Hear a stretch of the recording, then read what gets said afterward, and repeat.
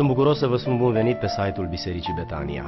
Mă rog lui Dumnezeu să folosească resursele acestui site pentru ca să vorbească sufletului dumneavoastră.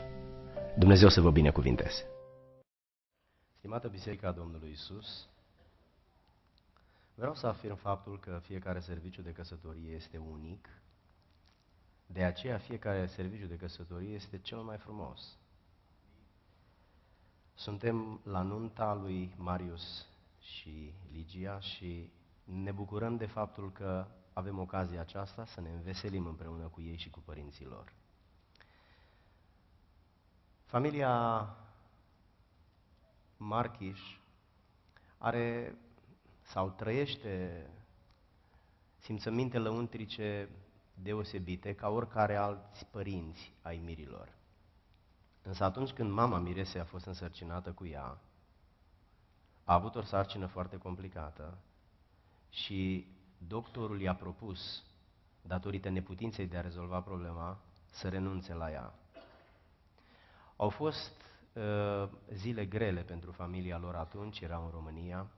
Știu câte ceva din această experiență, de aceea fratele Daniel, tatăl Miresei, când s-a rugat la începutul serviciului divin, a fost foarte emoționat și a spus în rugăciunea lui ceva despre asta.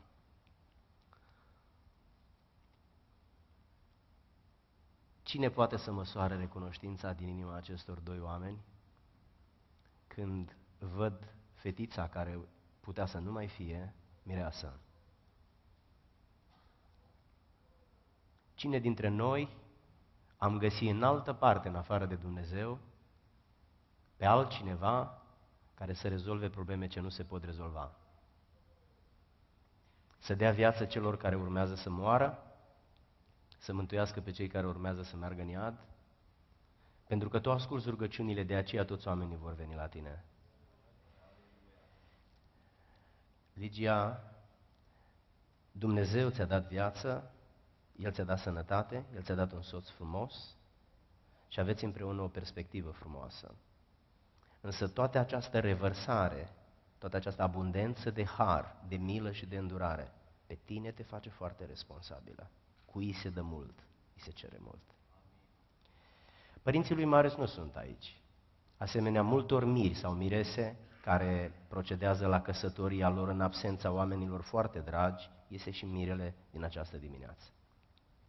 Suntem siguri că ei sunt pe internet, ei văd nunta în felul acesta, folosind metoda aceasta și după predică o să avem o surpriză frumoasă pentru tine.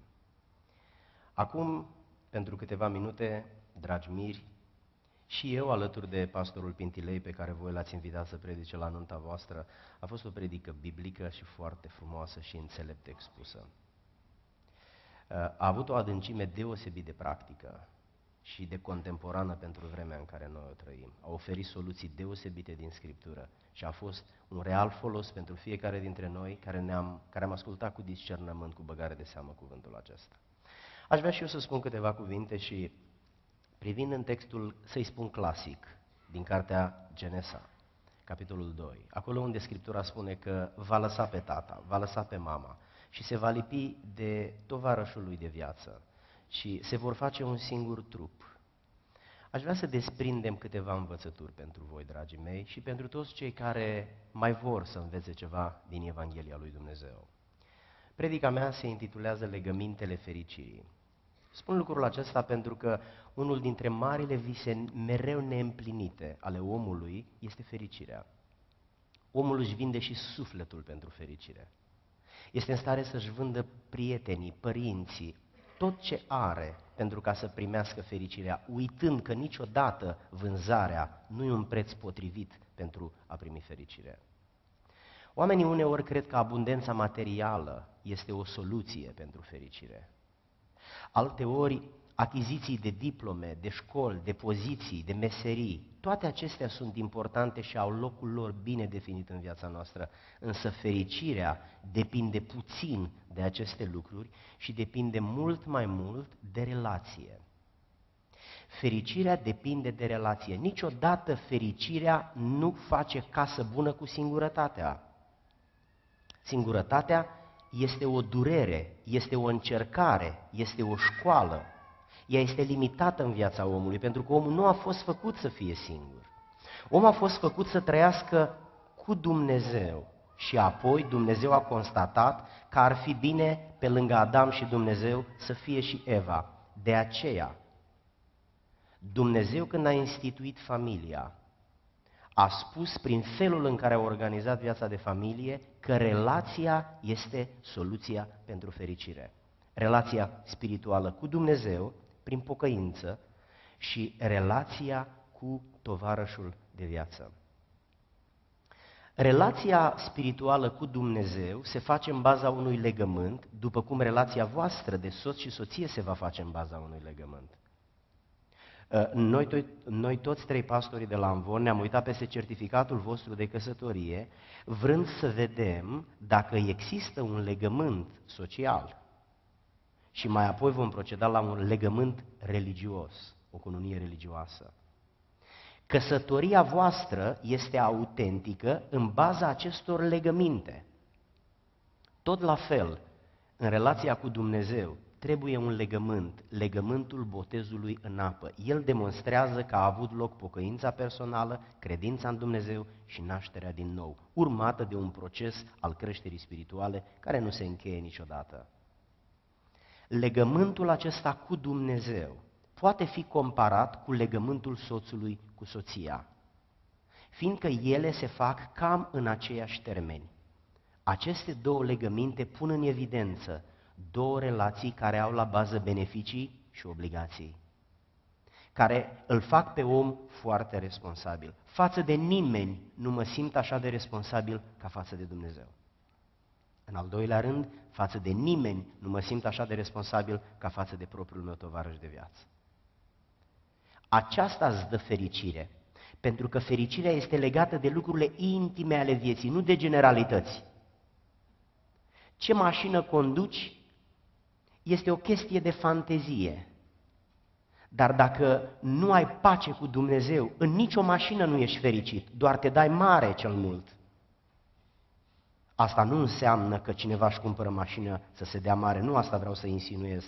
Am vrut numai să spun că lucrurile materiale, în absența împăcării cu Dumnezeu și a înțelegerii cu tovarășul de viață, nu au valoare. Din potrivă, cum plângi într-o mașină ruginită, plângi și într-una nou-nouță dacă nu te înțelegi cu soția sau dacă nu te înțelegi cu Dumnezeu.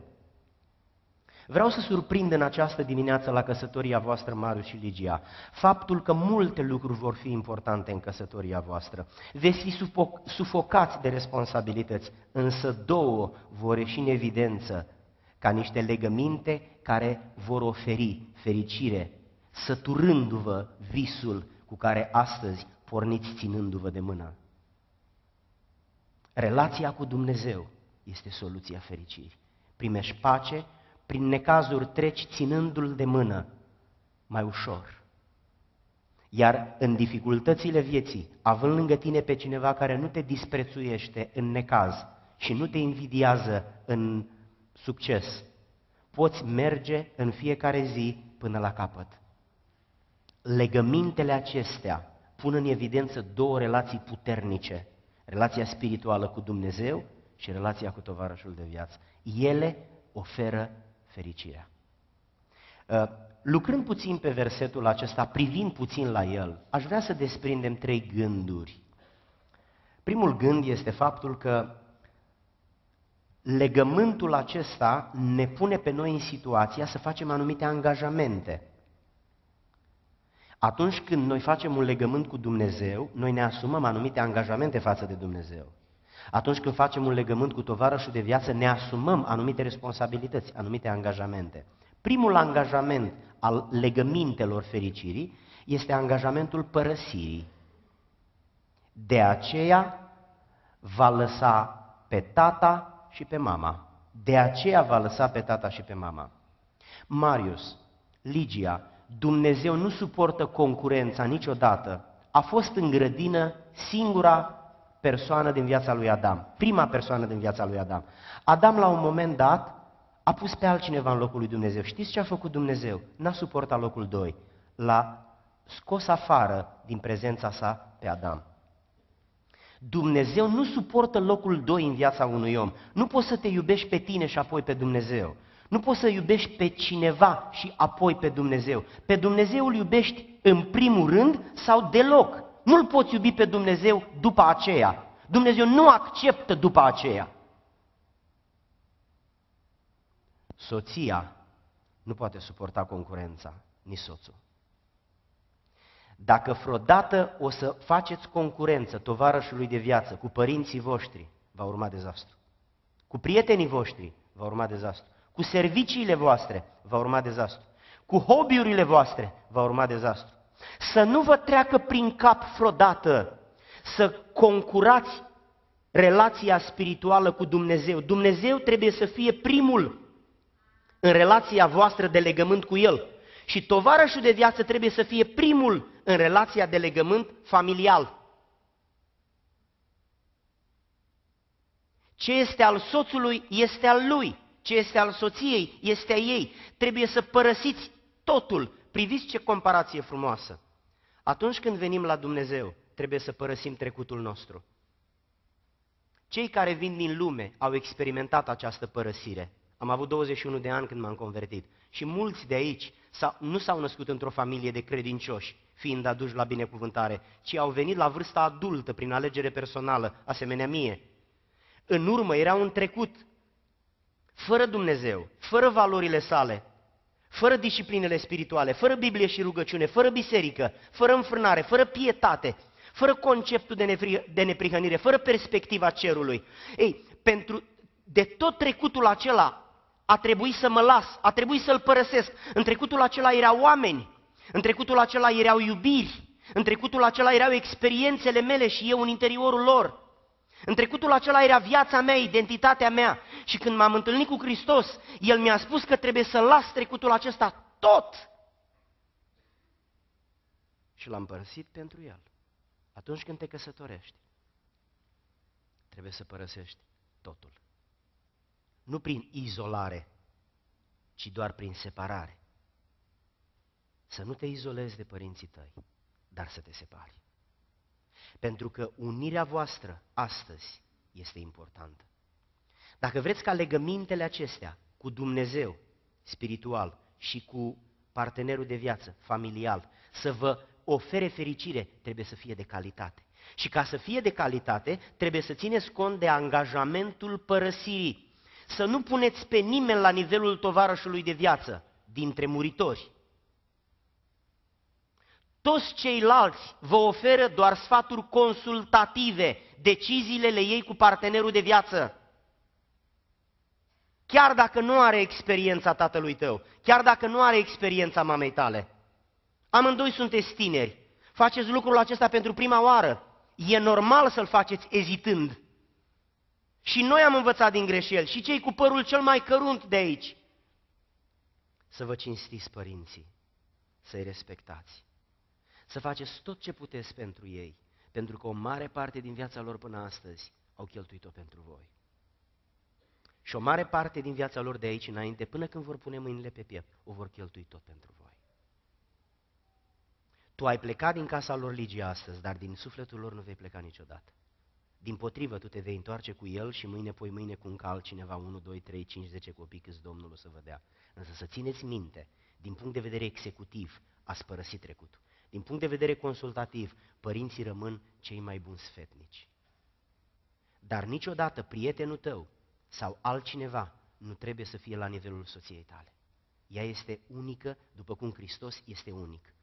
Relația spirituală cu El te obligă să renunți la toți Dumnezeii tăi de până astăzi. Relația cu soția ta te obligă să renunți la oricare alt muritor care până astăzi a fost important pentru tine pe primul loc.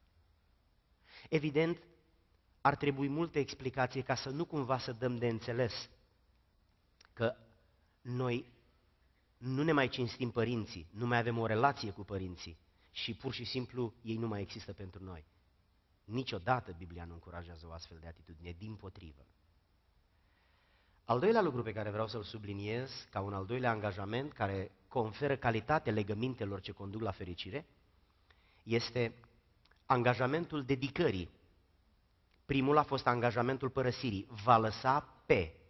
Al doilea e angajamentul dedicării. Va lăsa pe, dar se va lipi de altcineva. Va lăsa pe cineva și se va lipi de altcineva. De cine?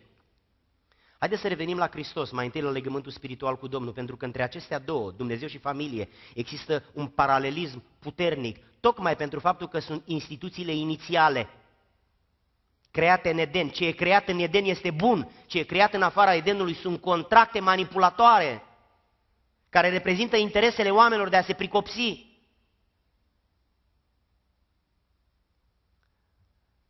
Cine vrea să intre într-un legământ cu Dumnezeu, trebuie să părăsească trecutul cu toți Dumnezeii, plăcerile, obiceiurile și păcatele de acolo și să-L îmbrățișeze pe Iisus Hristos, cerându-i iertare pentru toate păcatele trecutului. Dar apoi trebuie să-și dedice viața Lui. Petru spunea, ajunge că în trecut ați făcut și aia și aia, stop, acum dedicați-vă viața lui Dumnezeu, prin neprihănire. Părăsirea trecutului și dedicare în prezent, în perspectiva viitorului. Aceasta este viața spirituală renunți la păcat și te arunci în brațele Domnului Isus Hristos. Prin comparație, tot la fel se întâmplă în familie. Va lăsa pe tata și pe mama, dar se va dedica tovarășului de viață. Nunta voastră este un eveniment. Noi toți astăzi suntem aici ca să vă slujim. Tot ce am făcut noi trei astăzi aici a fost pentru slujba voastră. Zecile acestea de fanfariși, de cântăreți, toți au cântat în primul rând pentru Dumnezeu, dar și pentru bucuria voastră. Cei mai mulți dintre oamenii aceștia au venit la nunta voastră. Noi toți suntem aici pentru voi, pentru că vă prețuim. Sunteți ca și copiii noștri și vă iubim. Ne bucurăm de viitorul și de perspectiva voastră. Însă, evenimentul acesta se termină de seară. Și urmează procesul vieții. Fără flori, fără fanfară, fără cor, fără. Fără limuzină, Urmează procesul vieții. Tentațiile vor veni, chemările vor veni și atunci voi trebuie să manifestați dedicarea față de partener și față de Dumnezeu. Pentru că aceste două legăminte dau fericire. Oamenii, unii oameni sunt foarte bogați, dar ciudat, unii dintre cei bogați se sinucid. Cum ajunge un om bogat să se sinucidă dacă banii sunt soluția fericirii? Ce mai lipsește de se omoară? Că nu se omoară un homeless, un om fără casă. Legământul cu Dumnezeu implică să părăsești trecutul tău păcătos și în prezent să te dedici lui cu responsabilitate. Legământul cu soția ta, cu soțul tău, implică să vă părăsiți trecutul și să reveniți asupra valorilor și priorităților voastre. Sunt băieți care au avut un anturaj sportiv și după ce s-au căsătorit, au continuat anturajul sportiv. Știți ce s-a întâmplat? A apărut conflict între el și soția lui. Pentru că colegii de sport erau mai importanți decât soția. Cu ea n-avea timp să petreacă, cu ea doar dormea și mânca. Și probabil că mergeau în aceeași mașină la biserică. Dar cu colegii de sport petrecea două, trei ore la antrenament sau la meci. Soția nu suportă concurența asta, nici Dumnezeu nu o suportă. Când te închin lui Bal, Dumnezeu te părăsește. Legământul acesta este greu de purtat. Trebuie responsabilitate, trebuie dedicare, trebuie seriozitate. Nu ne jucăm cu Dumnezeu, nu ne jucăm cu tovarășul de viață. Aceste legăminte au fost făcute în Eden. Să realizați o părăsire solemnă, înțeleaptă și echilibrată. Să realizați o dedicare profundă, totală, responsabilă. Și cu Dumnezeu și cu tovarășul de viață. Și închei spunându-vă cel de-al treilea angajament al legămintelor fericirii și se vor face un singur trup, angajamentul unirii. Cea mai ușoară unire este cea fizică. Pentru o vreme și cea emoțională este ușoară. Însă viața e lungă dintr-un anumit punct de vedere. Și sunt soți și soție care au probleme să-și mai spună bună ziua, cum spunea pastorul mai devreme. Pur și simplu nu se mai salută. Relația dintre ei e atât de încordată, au ajuns atât de nesuferiți unul față de celălalt, pentru că n-au știut să gestioneze crizele, n-au știut să-și împrospăteze dedicarea, n-au știut să se păstreze departe de lucrurile părăsite, încât nu mai pot trăi împreună. Unii mai stau în aceeași casă, dar este complicat acolo. Dragii mei, să alimentați zilnic, precum mașina voastră la benzinărie, să alimentați zilnic unirea voastră să fie o unire intelectuală, să comunicați unii cu alții, unul cu altul, să nu aveți secrete. Nu există secrete. Să aveți o unitate spirituală, să vă rugați împreună, să postiți împreună, să veniți împreună la biserică și să nu veniți la 9 și 5, nici la și 10. Nu. Vă rog frumos să nu faceți asta. Dacă tot vă formați, dacă tot vă formați obiceiuri, automatisme comportamentale, formați-vă niște obiceiuri care demonstrează respect față de Dumnezeu și de instituția aceasta în care venim să ne închinăm. Sau de locul ăsta sfânt în care venim să ne închinăm. Să vă faceți obiceiuri care reflectă calitatea relației voastre cu Dumnezeu. După cum să vă faceți obiceiuri care reflectă respectul dintre voi. Nu te poți comporta oricum cu soția pentru că e importantă pentru tine. Nu te poți comporta oricum cu Dumnezeu, e important pentru tine. Angajamentul unirii o să ceară un preț mare, dar să-l plătiți. Pentru că, începând de astăzi, veți avea o viață fericită datorită celor două legăminte pe care le-ați încheiat. Pe unul cu mai mult timp în urmă, legământul în apă cu Dumnezeu, pe altul chiar acum, unul cu celălalt.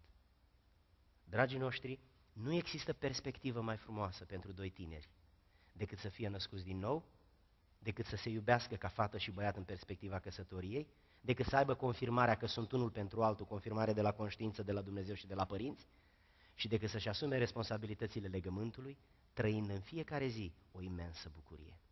E un lucru mare să-L ții pe Domnul Isus de mână și să ții soția de mână.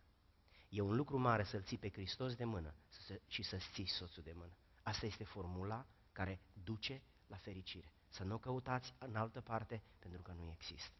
Legămintele fericirii sunt legămintele cu Dumnezeu și legămintele cu tovarășul de viață. Așa să vă ajute Dumnezeu și să vă binecuvinteze. Amin.